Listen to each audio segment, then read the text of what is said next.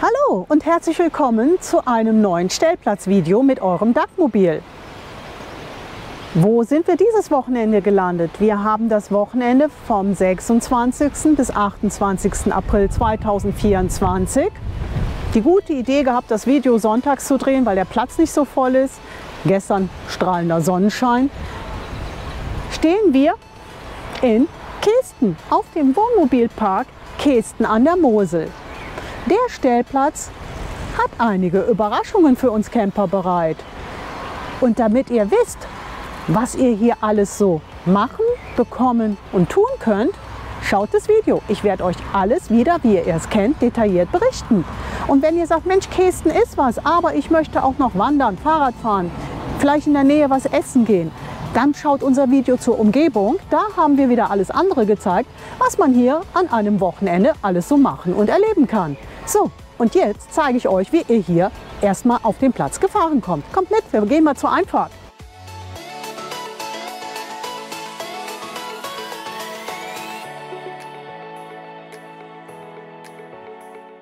Entweder aus der Richtung Bernkastel-Kues gefahren oder aus der Richtung Kästen, wenn ihr über Minheim angereist kommt.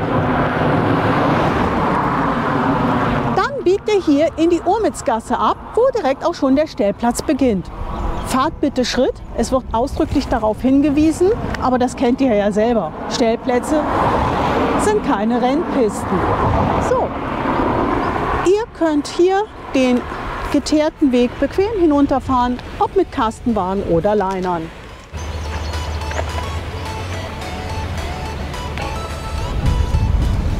Schon direkt ein paar Infos vorab zum Stellplatz.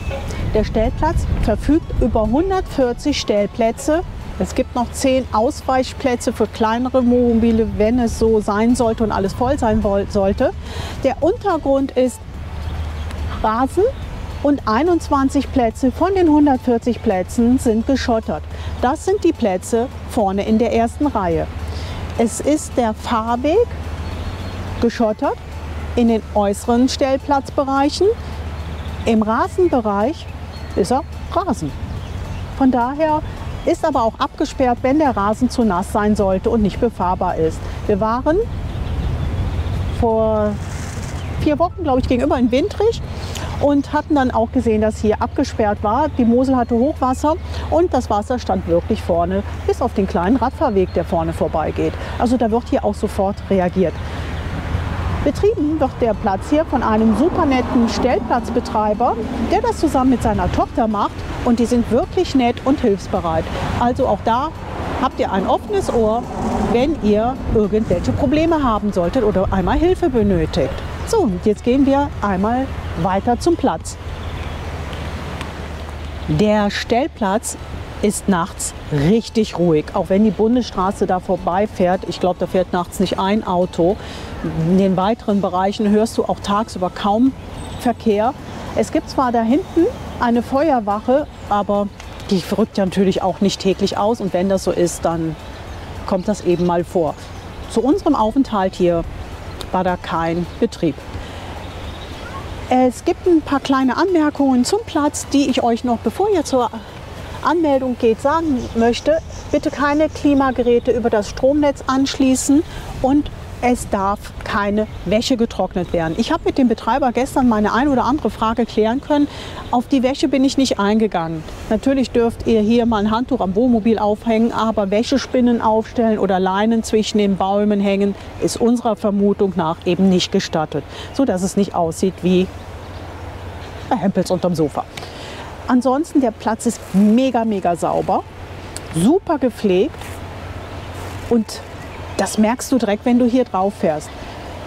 Du kannst hier Stellplätze reservieren. Das kostet eine Reservierungsgebühr von 3 Euro. Einfach anrufen und dann wird der Platz, den ihr nehmen wollt, mit einem handgeschriebenen Zettel in Klarsichtfolie markiert, da befestigt und dann weiß jeder, in dem und dem Zeitraum ist der Platz belegt. Ansonsten könnt ihr auf den Platz drauf fahren und euch einen Platz aussuchen, der euch gefällt und dann zum Check-in gehen oder erst zum Check-in gehen und fragen, was frei ist. Geht beides. Ja, ihr könnt hier auch nur tagsüber stehen. Das heißt, ich will nicht über Nacht bleiben, aber ich möchte meinen Tag an der Mosel verbringen. dann zahlt ihr als Tagesgebühr bis zu einem Aufenthalt von 17 Uhr eine Gebühr von 7 Euro. Möchtet ihr diesen Tag in der ersten Reihe verbringen, kostet es 50 Cent mehr. Auch eine gute Idee, wenn zum Beispiel ein Feiertag so liegt, dass es kein Brückentag ist oder ihr an dem Brückentag arbeiten müsst, aber sagt, Mensch, an die Mosel könnte ich heute mir schon vorstellen, meinen Tag zu verbringen. Kannst du das hier ohne irgendwo am Straßenrand auf einem kleinen Park, and Reitparkplatz oder Wanderparkplatz stehen zu müssen? Also in erster Reihe eventuell möglich. Zusätzlich hast du dann hier auch den Vorteil, dass du das ein oder andere hier auch einkaufen kannst. Aber das erzählen wir euch gleich, was es hier alles fürs leibliche Wohl noch gibt. Solltet ihr auf der Durchreise sein oder der Platz voll sein, aber ihr die Gelegenheit nutzen möchtet, euer Wohnmobil zu entleeren, dann kostet das eine Pauschale von 3 Euro. Ihr könnt also hier die Grauwasser- und Chemietoilettenentleerung nutzen und gebt dem Betreiber einfach euren Obolus von 3 Euro. Also auch eine gute Sache. So, und jetzt gehen wir zur Anmeldung.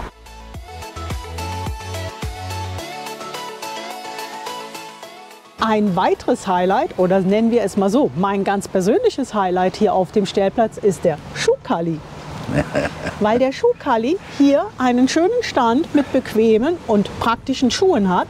Einer Marke, die ich mit meinen Nüggelsbüßen als eine der wenigen tragen kann. Und ja, ich habe ein ziemlich starkes Überbein. Und er hat hier bequeme Schuhe, die wir von der Marke kennen. Für die Herren, wie auch für die Damen. Ja, da haben wir dann Sneakers für die Damen bis hin zu Trekking-Schuhen für beide. Und wir haben uns gestern hier auch schon super eingedeckt. Der, genau, den habe ich gestern gekauft und auch noch ein paar andere Damen hier auf dem Platz. Wenn ihr hier seid, kauft ihn. Ich kann euch sagen, damit könnt ihr laufen. Das sind wie von selber, als wenn Röllchen drunter wären. Kann ich nur empfehlen. Super gute Schuhe. Gerade wenn man hier in der Mosel, an der Mosel mal eben durch die Weinberge gehen möchte, also keine Klettersteige machen möchte, sondern einfach nur hinten ein bisschen spazieren gehen. Echt super, auch für Gassi-Runden. Und der Kali steht immer hier. Wann bist du hier? Jedes Wochenende. Jedes Wochenende könnt ihr den Kali hier treffen, der, Wenn es nicht regnet. wenn es nicht regnet, auch eigentlich seine Produkte hier aufbaut. Auch gestern hat er ein bisschen mehr hier stehen gehabt, aber heute ist es so regnerisch und windig. Das wollten wir den armen Schüchen heute nicht antun. Er hat freudigerweise uns den Wagen noch mal geöffnet, damit wir ihn euch zeigen können. Und ich muss an der Stelle noch sagen, der Kali hat natürlich nicht die Originalpreise, die auf den Schuhkartons aufgedruckt sind, zu denen wir diese Schuhe käuflich erwerben können in den ein oder anderen Läden. Er hat hier seinen Kästen Specialpreis, aber den sagt er euch dann, wenn ihr die Schuhe kauft. Richtig. Und nicht, dass einer denkt, das ist alles hier nicht offiziell. Alles so, wie es sein soll. Richtig. Wir posten es ja auch öffentlich und da ist alles legal. Also von daher kommt her. Er hat echt klasse Schuhe und wenn Alfred schon ein paar Schuhe gekauft hat, dann ist es, naja, ne, Bombe. Top. Top. Jawohl. Wir sagen dir gute Geschäfte. Viele Dankeschön. Grüße an Toni. Vielleicht nächste Woche wieder oder übernächste Woche. Also ich bin jedes Wochenende hier, Ja. wenn es nicht so ein Wetter ist wie heute. Genau. Ich fahre jetzt also nach Hause. Der Toni ist am Freitag hier. Also Am Freitag. Der kommt nächste Woche. Ah, ja. Am 8. kommt er, danach das Wochenende. Ach so, ja. Ne? Ich bin ab Mittwoch wieder hier. Ja, also nutzt den 1. Mai für den Feiertag. Ich habe euch gerade schon gesagt, ihr könnt ja auch nur für tageweise stehen oder wenn ihr im Nachbarort seid, fahrt mit dem Rad drüber. Schaut mal vorbei. So, wir machen mal weiter, was es noch hier alles so gibt. Okay. Nein, danke dir. Mach's gut. Wenn ihr euch hingestellt habt, könnt ihr hier zur Anmeldung gehen, solltet ihr auch, und könnt hier die Stellplatzgebühren entrichten.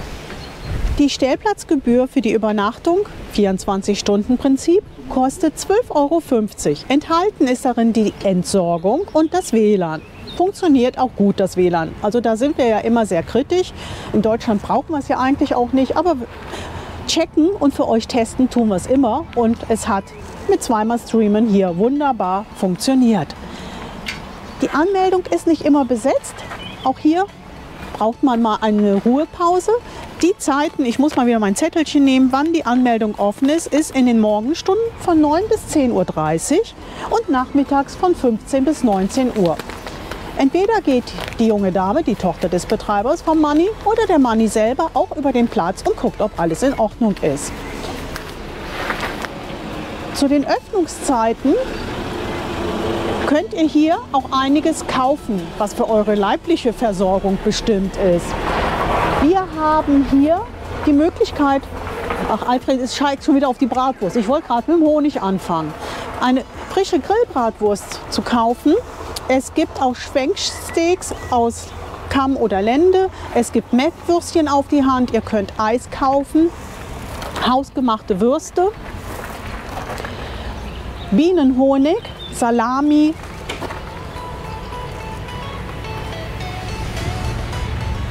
einen Angelschein für einen Tag oder eine Woche erwerben und es stehen zur Auswahl verschiedene Biere, Softdrinks und 14 verschiedene Weine unterschiedlicher Winzer hier aus der Gegend.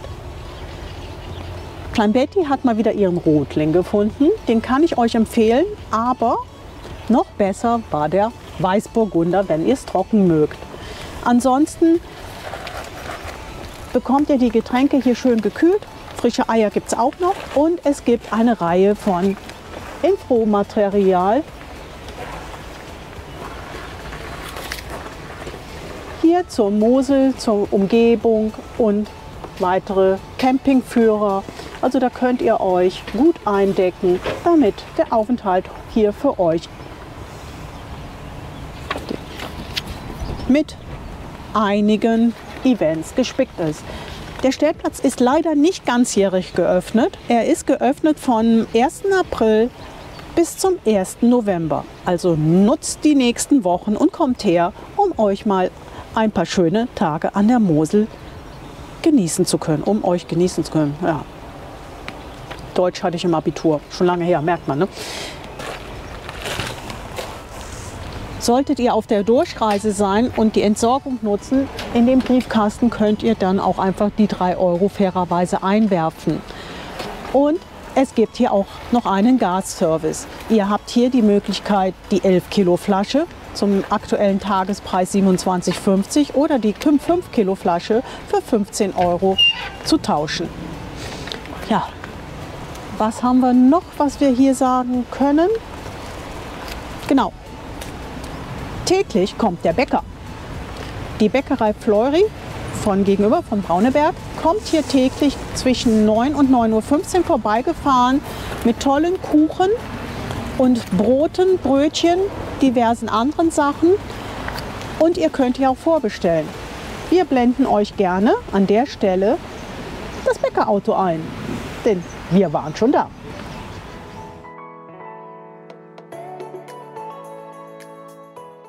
Stellplatz habt ihr täglich den Genuss, auch an Samstagen, Sonntagen und Feiertagen, dass von der Bäckerei Fleury, die gegenüber in Brauneberg ansässig ist, der Brötchenwagen kommt. Da bekommt ihr leckere Kuchen, Brote, Brötchen jeglicher Art, inklusive der Mosel-Spezialität, also der Spezialität des Hauses.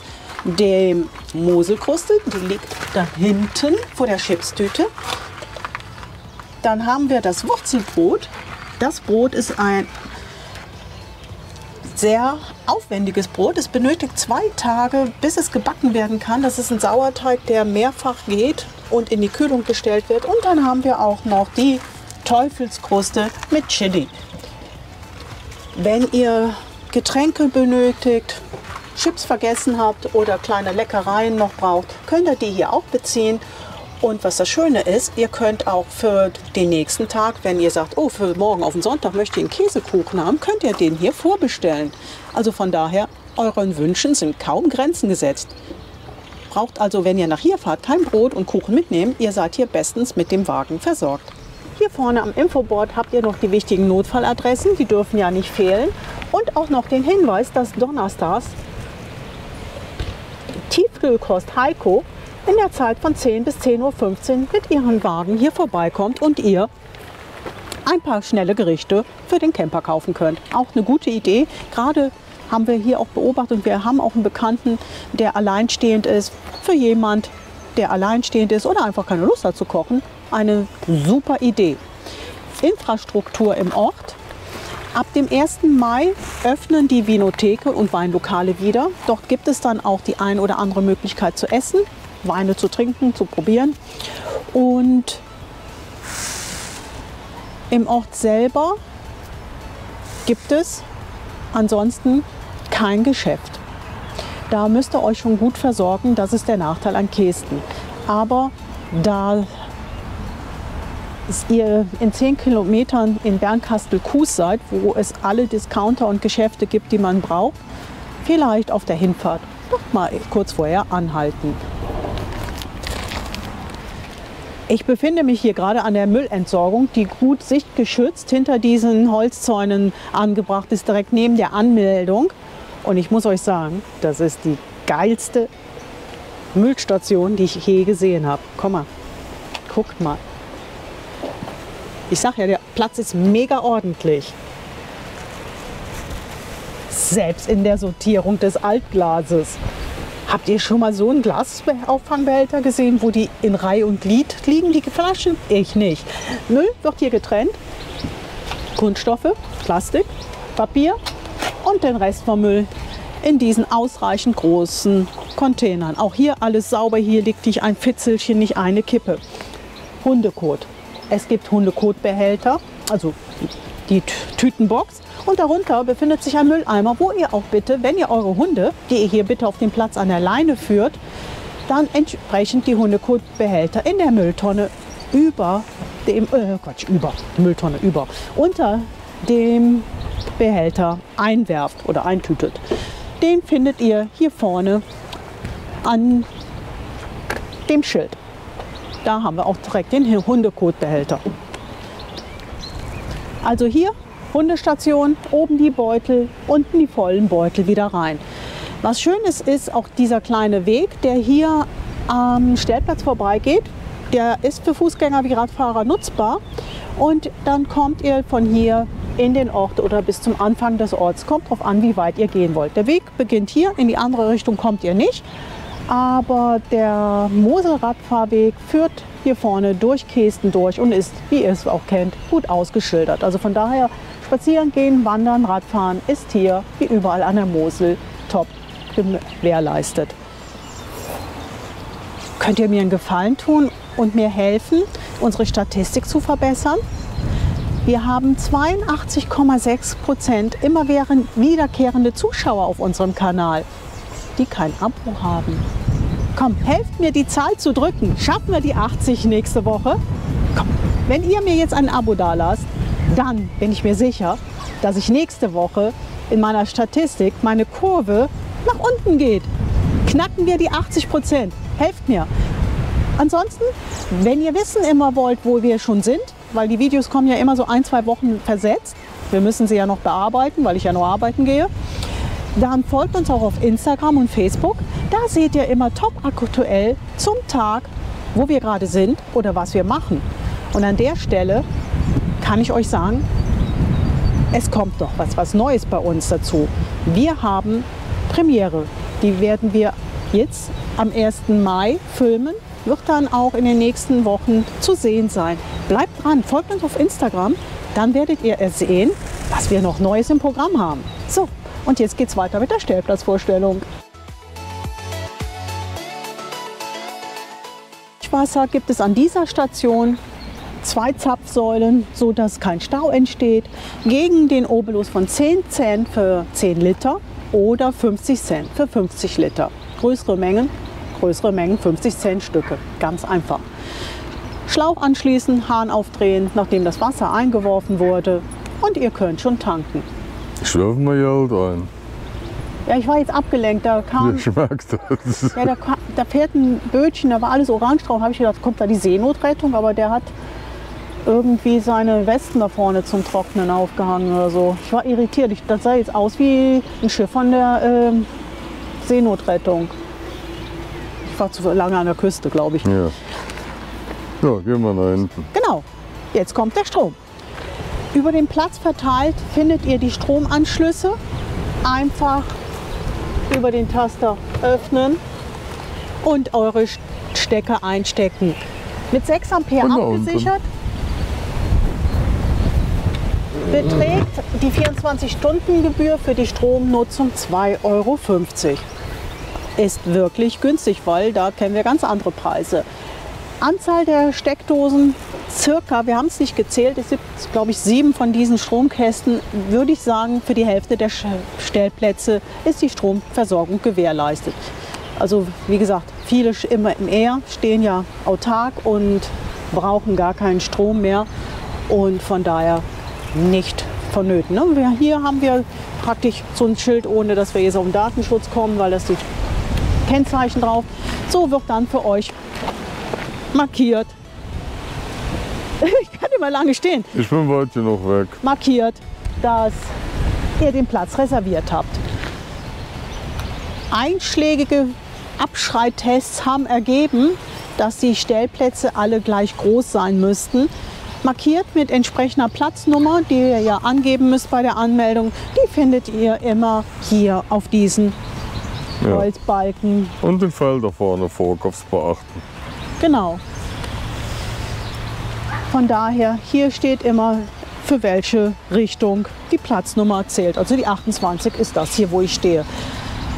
Umso weiter ihr, wenn ihr sagt, ihr wollt ans Wasser stehen, aber wenn es so windig ist wie heute, umso weiter ihr in die Wiese reinsteht, umso windgeschützter wird es auch, weil es kann durch den Flusskanal ganz schön Wind strömen. Mich kannst du nicht entsorgen. Ich bin hier nicht beim Kohlescheppen, hier wird entsorgt. Und zwar gleich, wenn er nicht die Klappe hält, der Onkel Alfred. Ihr habt hier eine Multifunktionsentsorgungsstation. Den Auffangbehälter unter euren Ablauf platzieren. An der Kette den WC- und Grauwasserabfluss öffnen und den Schlauch hineinführen. Und dann könnt ihr hier euer Grauwasser in den Schacht entsorgen. Wenn ihr das gemacht habt, drückt ihr hier auf diesen Knopf zur Spülung des Schachtes, damit da auch kein Gesabbels hängen bleibt. Daneben habt ihr auch einen Behälter drücken hier oben für eure Grauwasser, äh, für eure Chemietoilettenspülung und könnt dann auch, nachdem ihr sie in dem Schacht entleert habt, das Spülwasser auch hineinkippen. Vielleicht den Schacht danach noch mal spülen, das macht Sinn, auch nach der Entleerung der Chemietoilette. Und hier haben wir dann auch noch mal zwei Frischwasserversorgungshähne. Gott. Zu den eben schon genannten Gebühren. Also von da schön abseits hinter Holzzäunen versteckt, so dass man die anderen Geruchslärm sich belästigt eben nicht äh, stört, könnt ihr hier absolut ruhig entsorgen. Ich habe eben auch einen großen Liner gesehen, das funktioniert alles. Ihr müsst nur mit der richtigen Seite hier ranfahren. Aber Wendemöglichkeit habt ihr ja. Das Ganze ist im Kreis zu umfahren, sodass ihr einmal dieses Rondell nutzen könnt, um hier anzufahren. Ich glaube, die tue ich mal wieder ein bisschen rüber. Ansonsten ist das gleich unserem Reifen im Weg, weil wir müssen hier auch noch hin. So. Ja, habe ich was vergessen? Eigentlich haben wir alles gesagt. Noch mal einen kurzen Blick auf die Mosel. Wir haben hier vorne noch eine schöne Sonnenliege. Es sind entlang des Weges hier Mülleimer und Bänke aufgestellt, auf die ihr euch auch zurückziehen könnt. Habt ihr euren Vierbeiner dabei? Wunderbare Möglichkeiten, Gassi-Runden zu drehen. Es geht auch hinten noch mal am Hochwasserwall ein Weg vorbei. Hinten in die Weinfelder geht ein Weg. Da könnt ihr zu jeder Uhrzeit die kleine oder größere Runde drehen, ob mit oder ohne Hund. Und ja, was soll ich sagen? Da sind wir jetzt am Fazit. Viel mehr kann ich euch zu dem Platz nicht mehr sagen. Der Platz hat mit nur einem Besuch es geschafft. Es ist unser Lieblingsplatz an der Mosel und er bekommt volle Sterne. Alle Punkte da. Wir haben hier so viel Herzlichkeit, so ein großes Herz für Camper erlebt, wie man es nicht immer findet. Und ich muss sagen, ich kann die verstehen, die seit Jahren hier regelmäßig herkommen und immer wieder ihre Wochenende oder auch mal eine Woche hier verbringen. Ein Platz mit Herz für Camper, von Campern. Kommt her, überzeugt euch selbst, wie es ist, wenn man sich hier einfach die Zeit genießt und entschleunigt. An der Stelle sage ich wieder Danke fürs Zuschauen und wir freuen uns auf euch, wenn ihr das nächste Mal wieder dabei seid. Denn auch nächste Woche geht's wieder los mit dem Dagmobil. Kein Wochenende, wo wir doch nicht auf Tour sind. Von daher, bleibt dran. Wir sehen uns. Bis bald. Ciao. Ciao.